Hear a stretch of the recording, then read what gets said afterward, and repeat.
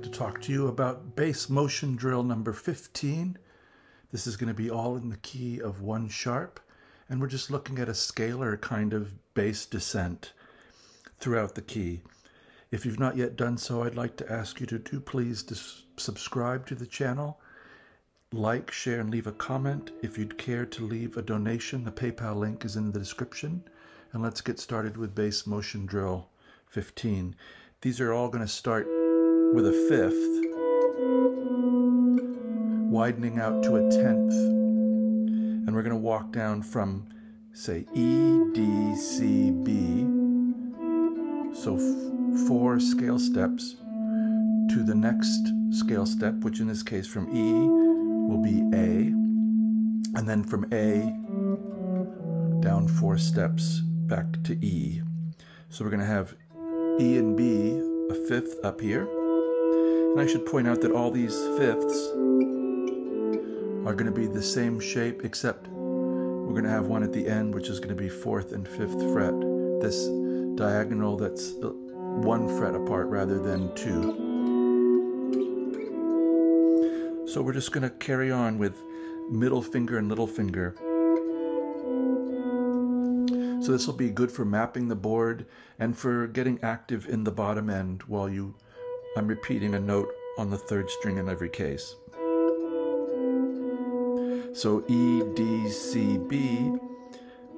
So this is 14 and 16, 12, 15, 14.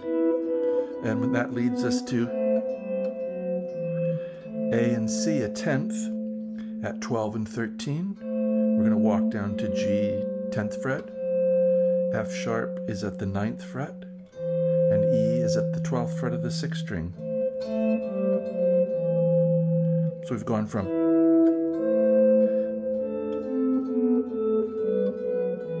So now we're going to go from D and A, 12 and 14, same idea. We're going to walk down D, C, B, A, 12, 10, 14, 12. That puts us at 10 and 12, G and B. So G and B, F sharp, 9th fret, E, 12th fret, D, 10th fret. And now we need C and C and G. So we've played. Now we're going to start from C and G with a B below. So 10 and 12, C, G. B, A, G.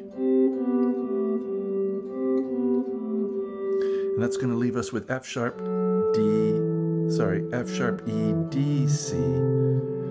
So here's F sharp and A, 9 and 10 on strings 5 and 2, going down a whole step, another whole step, and another whole step in the bass.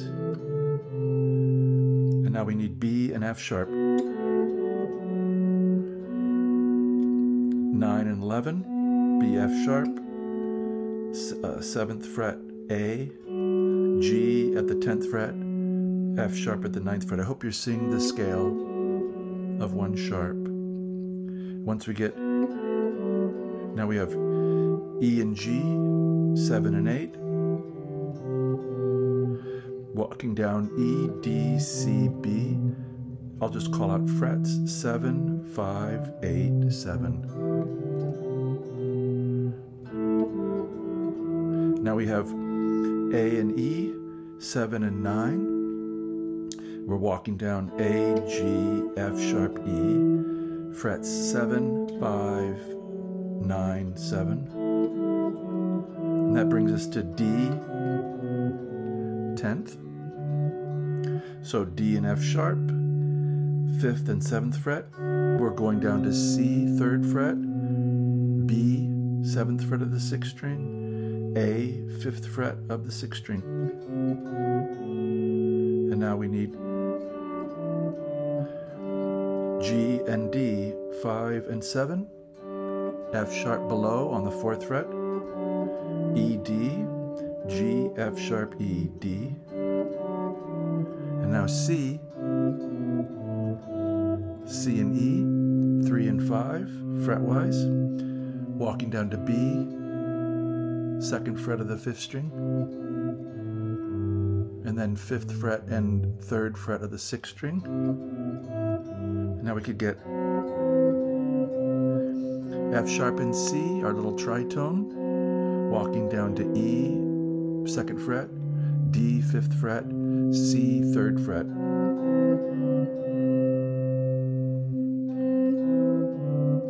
This would put us at B.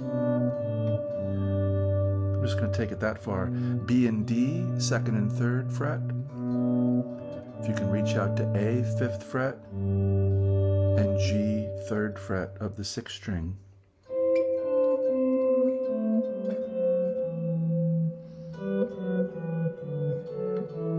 So, what I hope is that these patterns will start to be familiar to you and you can move them around to other keys, introduce notes for modulation. We've talked about that a little bit in other lessons. If you have questions, please leave them down below, and I wish you a very good day.